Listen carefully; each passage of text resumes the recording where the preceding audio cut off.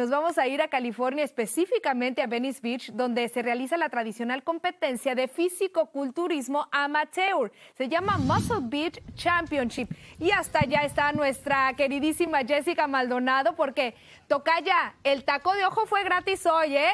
Nos acompañas en vivo, cuéntanos. Fue gratis. Fue gratis y te debo el bikini, tocallita. Pero déjame decirte, aquí hubo bikini y muchos músculos por todos lados que subieron la temperatura aquí en una de las competencias, pues más frecuentes que hacen todos los años, que ya es una tradición que puso de moda el icónico Arnold Schwarzenegger. Aquí la reseña. 45 años lleva esta competencia de físico-culturismo en Venice Beach, California.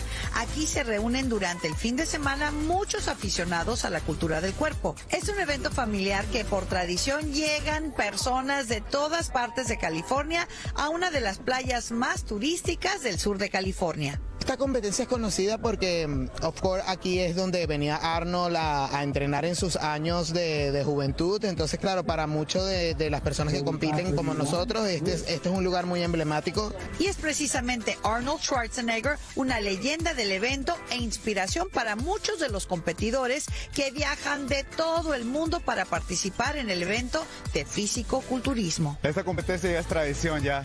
Ah, ya es, de usual que vas a ver el montón de gente, el montón de gente con el tan. Eh, todo esto es un esfuerzo, tiene mucha disciplina, entrenamiento, comida y es familiar también. Esta competencia no tiene edad ni restricción, ya que hay varias categorías. Aquí lo que vale es el esfuerzo y disciplina, como la de este chico de Guadalajara, Jalisco, que lleva dos años compitiendo.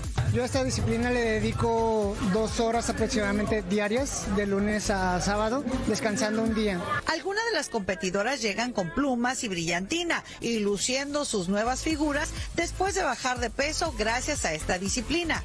También existe la competencia en categoría de traje de baño. Lo importante es salir a disfrutar en grande. Muy importante la salud, ¿verdad? Eh, cuando tú te preparas para una competencia de estas es mucho uh, commitment eh, con tu dieta, con tu estilo de vida.